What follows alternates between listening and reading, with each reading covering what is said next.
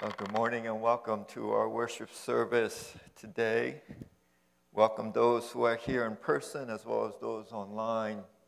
And uh, before beginning the message, just uh, a little bit of a, an appeal, I guess, to those who are still online that, uh, well, that you would join us in person. Uh, fellowship's not quite the same, obviously. Worship is not quite the same. And so I think we have a healthy dose. Last Sunday, we had 44 people in person and 18 online. And as we see the COVID numbers getting better and better, we encourage those who are online to come out, enjoy fellowship, lunch, and most of all, worship in person. We are continuing our series in Revelation, the seven churches. Minister Chris uh, sent us off in an, excellent, uh, in an excellent manner last week with a letter written to the church of Ephesus. And uh, boy, what an important message. It's not what you do as much as why you do, right? Is it out of love? Today I'm covering the second uh, letter, the church in Smyrna, and uh, I could boil down this into one phrase be faithful unto death. Be faithful unto death, right? Don't forget your first love be faithful unto death. And so the city of Smyrna is one of the most beautiful cities in the ancient world. If you take a look up there on the screen, that's a artist rendering. So it's a computer animated uh, rendering of what the city would have looked like, located off of the Aegean Sea. Sort of a place where you might want to go on vacation. If you look at the next slide as well, this is the modern city. This is in Turkey, Izmir. And it's the third largest city, and one more picture just for you to get a sense of the scale and the beauty, the hills in the background, and the, the port.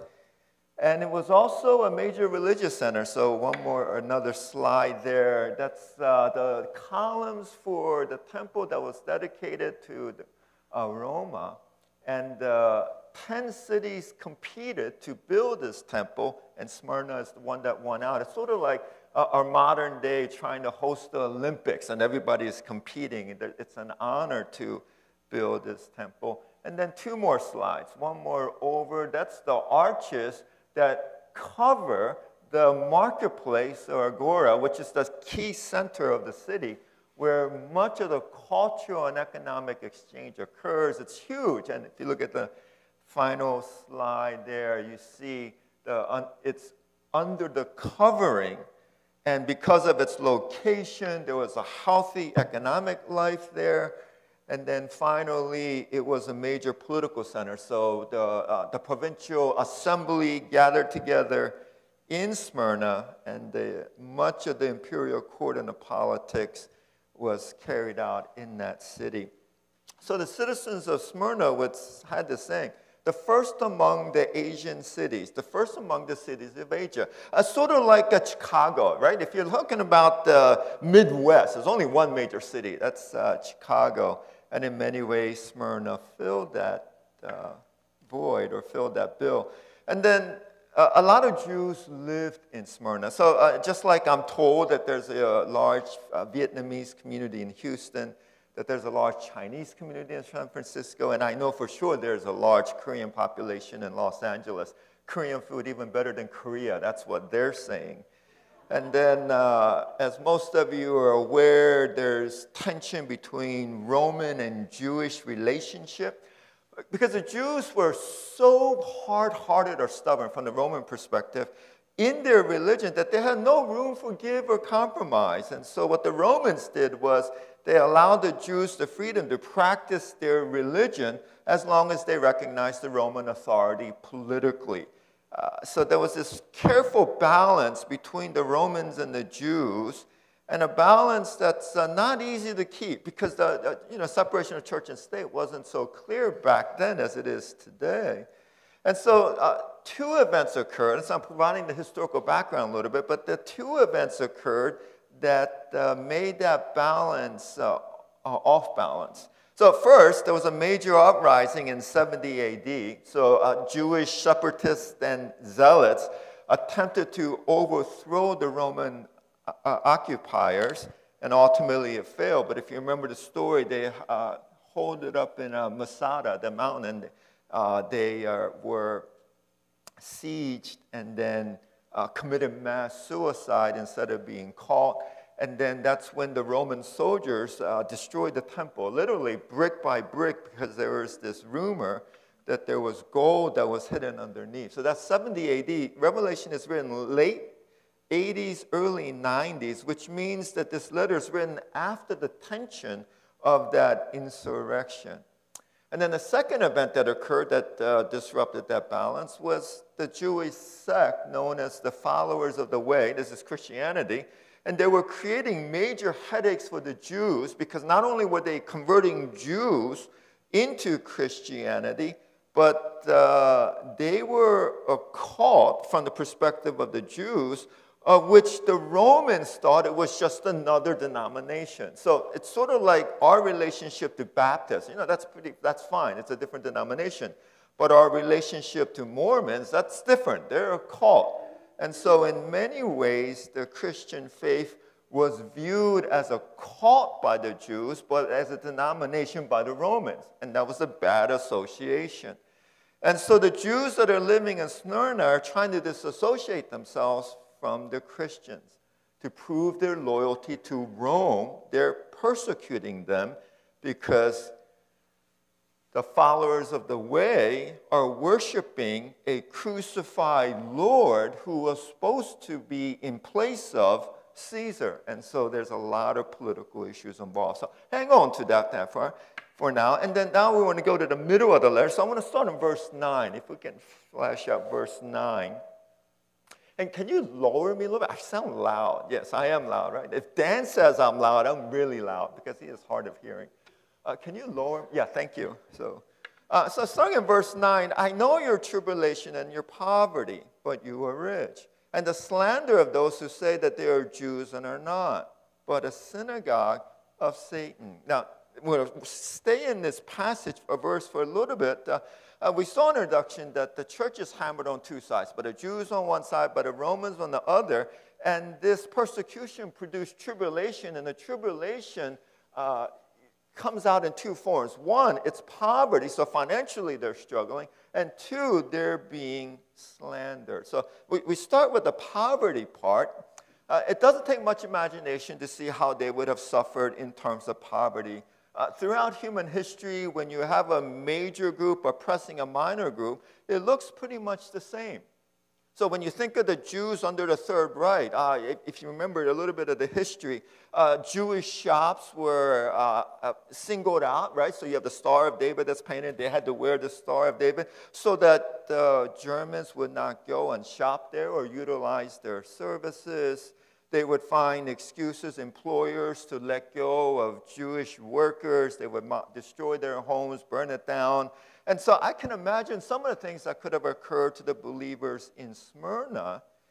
And then, the, to, worse, the Jews were putting distance between themselves and Christianity so that the Christians felt themselves to be more isolated. Now, here's what's going on the more the Jews isolated themselves and separated themselves, the Romans began to see that the Christians were not a denomination, but a different religion which means that they're no longer under the Roman law of protection for the Jews to worship above ground. So they had to go underground.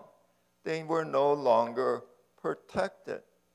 And in fact, to make things worse, the Jews began spreading slander against the Christians who are now underground and they can't respond.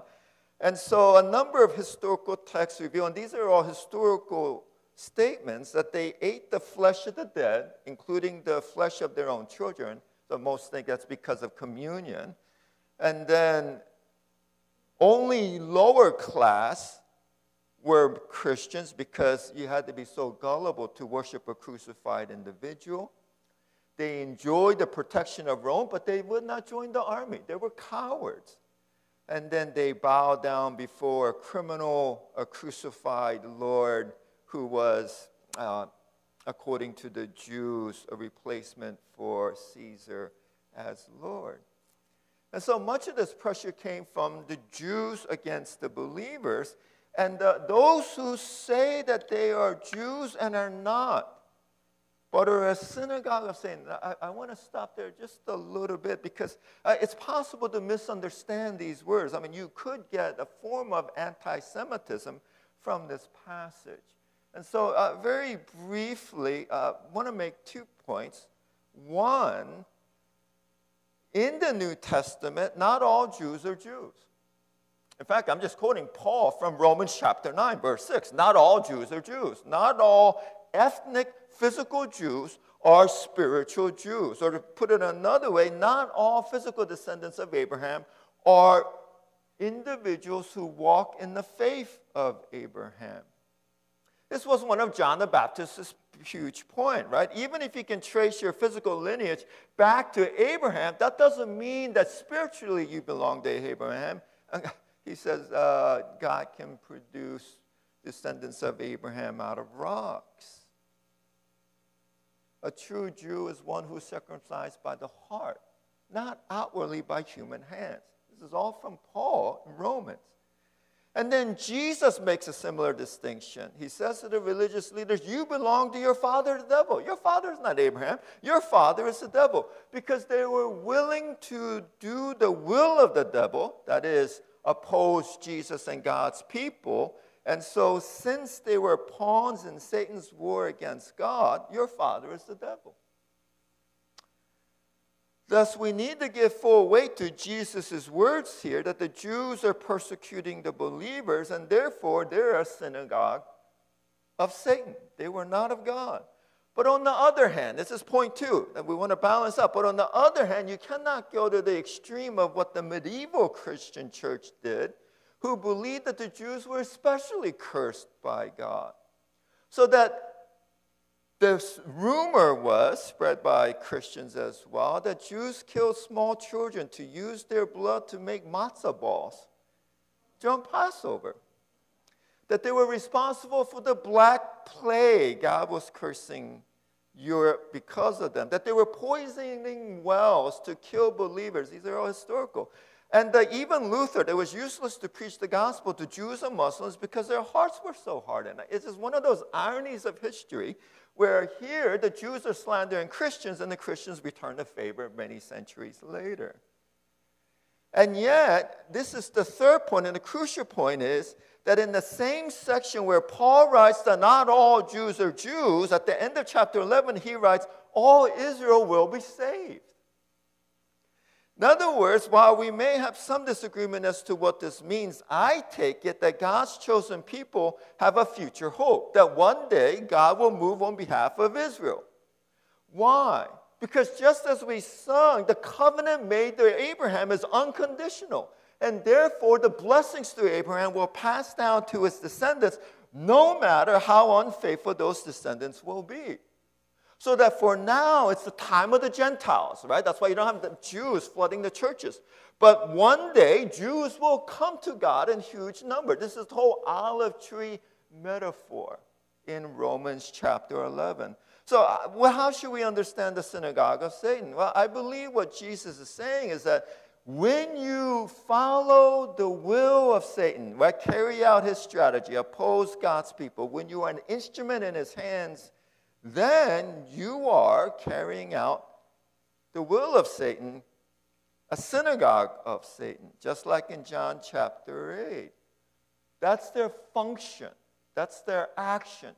But in terms of who they are, they are a people of God. And one day God's promises will be fulfilled. You need to hold on to both of those uh, sides in order to maintain the tension of the future of the Jews. And that's why, and you guys are fully aware that there's a large uh, evangelical segment that is very pro Israel because of these types of statements. Okay. Now, here, what we have is do not fear, you're about to suffer. And if we go to verse 10, the suffering that will come, oh, sorry, verse, uh, verse 10, part B. Uh, the devil is about to throw some of you into prison and that you may be tested, and for 10 days you will have tribulation. That's the imprisonment that uh, Jesus is speaking about. The imprisonment in ancient Rome, it's not like today. So, you know, if you're caught in drunk driving, you can go to prison for stealing. Even for murder, you can go to prison for 40 years. It's not like that in Roman prisons. Roman prisons, there's only two, two reasons. One, you're waiting trial for execution, or you're waiting to be executed. That was it. You didn't hold prisoners for long in the Roman prison system. So that when he says you're being put into prison, it means you will be executed. In fact, I think a better translation maybe the devil is about to throw some of you in the death row. You are about to die. Now, the 10 days there, that should not be taken literally. Most scholars take the 10 days as a reference to Daniel, right? So if you look at the next uh, verse, right? This is in terms of Daniel, test your servants for 10 days, let us be given vegetables to eat and water to drink. They think that 10 days is a reference to Daniel, and what Jesus is doing is he's trying to encourage the believers in Smyrna by comparing him to Daniel, because Daniel is one of the great Old Testament saints. It's like Romans chapter 11, heroes of the faith, right? To inspire us. And Jesus is trying to inspire them. Look at Daniel. He was living in exile. He suffered for his faith. He was tested. He was thrown into the lion's den. But what did he do? He remained faithful to the end. In the same way, believers in Smyrna to be faithful to the end, even though they were unfairly imprisoned, they're suffering poverty, their reputation is in tatters, and they're living in exile in this world. In the same way, like Daniel, be faithful. And that's where we get the command. If we can just leave up the uh, verses up there, Chris, thanks. Uh, be faithful unto death. And that's, if you forget everything from this sermon, just remember be faithful unto death. Right? Be faithful unto death.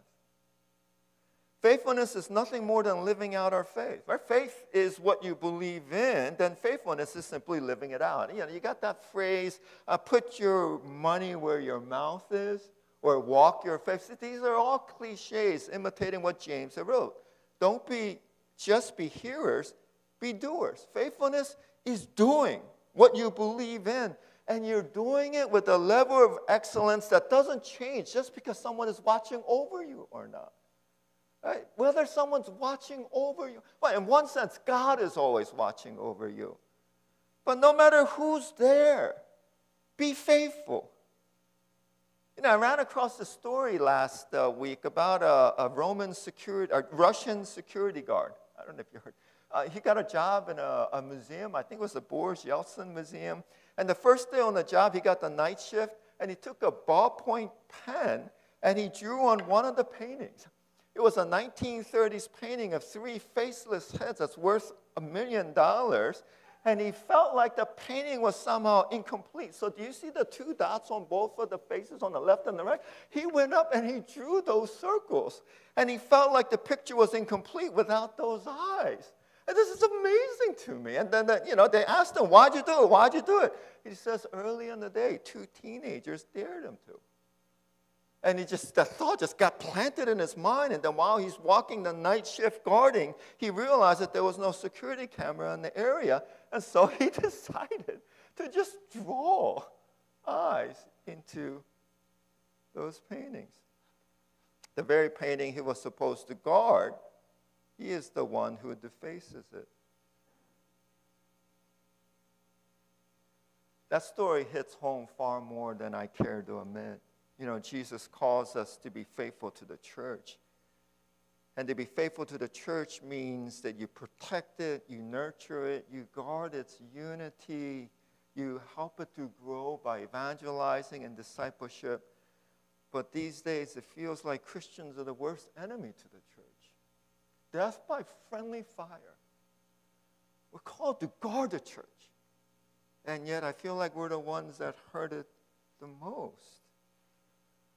Be faithful unto death.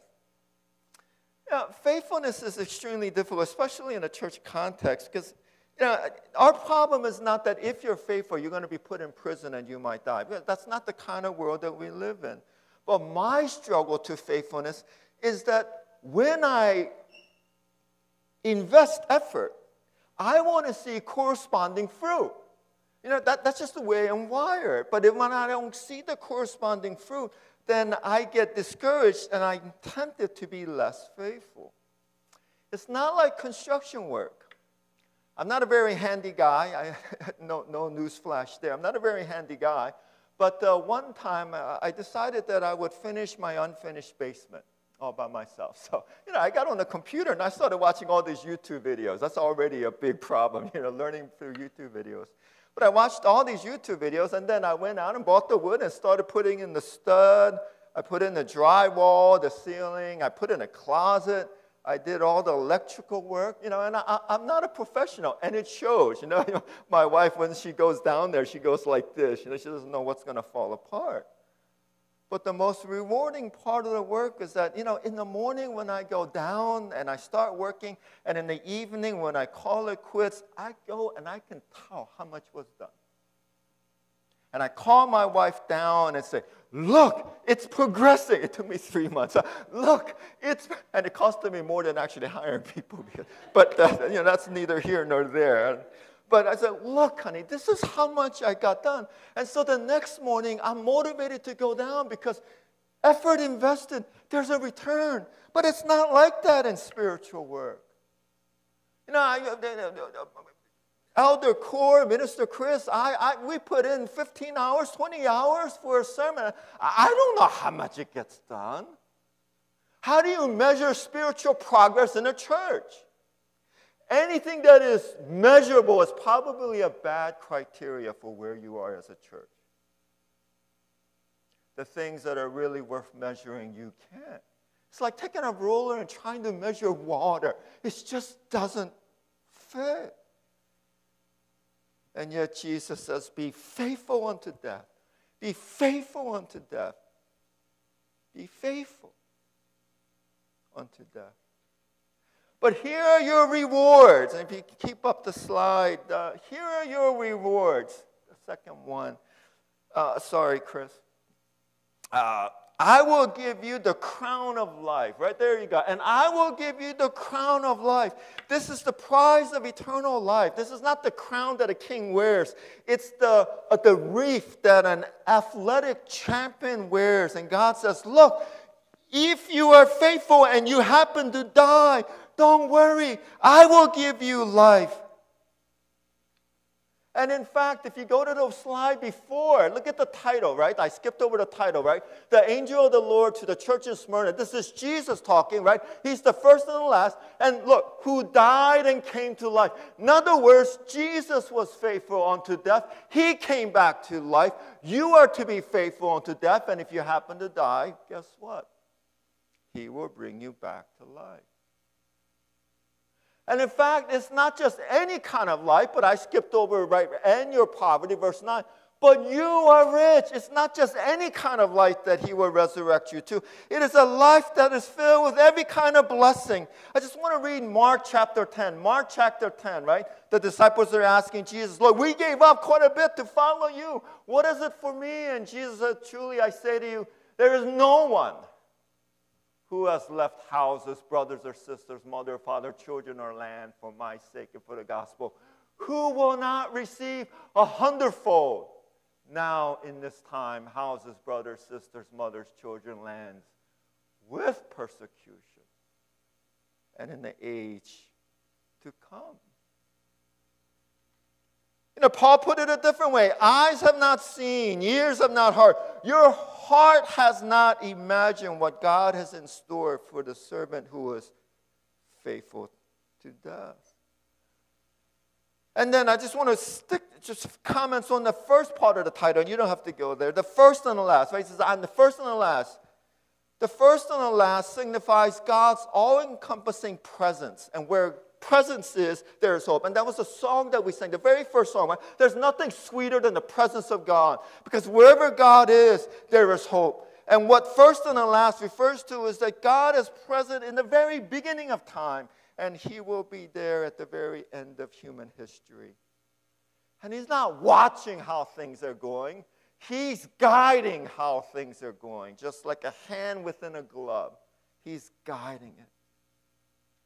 You know, it was one of those surreal, mo- surreal moments this week when Russia uh, elevated their nuclear readiness so that it was less channels in order for them to fire nuclear warheads. And I saw that. My first thought was, you know, in the 1950s and 60s when they had kids in school hide under desks. And whenever I saw that, I kind of laughed, right? When I hide under desks in a nuclear war. And yet, for a moment there, I thought, oh my, Cold War's uh, back again, and uh, we might have a nuclear war. It was quite sobering. And then those images of over a million refugees. You know, families, mothers with kids, because the men aren't allowed to lead, they have to fight the war. And you see them trying to get on the trains and the refugees. All, their lives will never be the same. And then I'm thinking, a lot of politicians are thinking, oh, when will this end? I mean, what's Putin's ultimate plan? Is he going to stop with Ukraine or is he going to rebuild the entire USSR? And in the midst of these cosmic events, you feel so small. I felt so small with these events.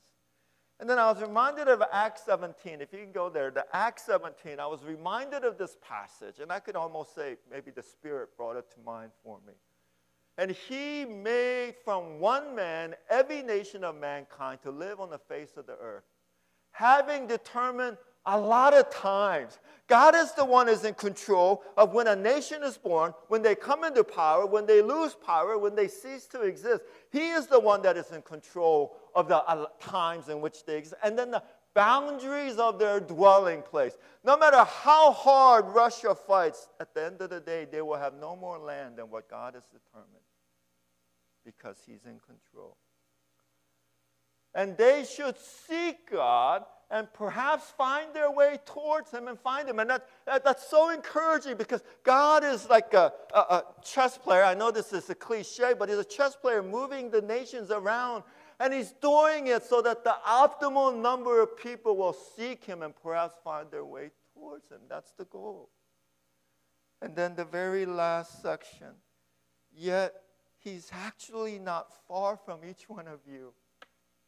Isn't that encouraging? The God who moves nations isn't so preoccupied with the events that come out in CNN that he doesn't know your personal struggles today and tomorrow.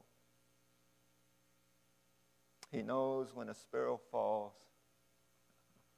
He knows the number of hair that fall out of my head every time I take a shower, and it's increasing year by year but He knows when I lie down at night. And He knows what time I get up. Psalm 139.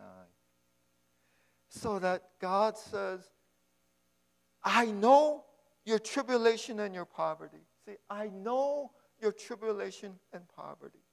So that no matter where we are as a church, no matter, matter where we are in terms of our individual lives, and no matter where we are in terms of our world, God knows. He knows the suffering, He knows the tribulation. And He knows the challenges that we face as a church. We have a very rich history. And yet, as a number of people have pointed out, there are challenges that we face. It's not that He does not know, He knows where we are, and He knows where He wants us, us to be. So, be faithful unto death. Don't worry about the results. Don't try to measure the progress. And most of all, don't try to be successful. That's me. Don't try to be successful because it'll mess with your motives. It'll mess with your motives. Because one day you'll wake up and it will no longer because you love God, but because you are trying to what? Build a name for yourself? Don't be successful. Be faithful. Because at the end of the day, this is not your church. This is not the elders' church, not my church. It's God's church. And He will do what He wants with it. Just be faithful to the very end. Heavenly Father, we come to you this morning and we thank you for the power of your word that speaks of a God that is far greater than what we can ever imagine. I pray, Father, that we will know you more each day, individually as we get into your word, corporately as we go to fellowships and Bible study, and as we gather together on Sunday morning. Lord, open our eyes and open our hearts that we might see how truly great you are. And then help us not only to believe.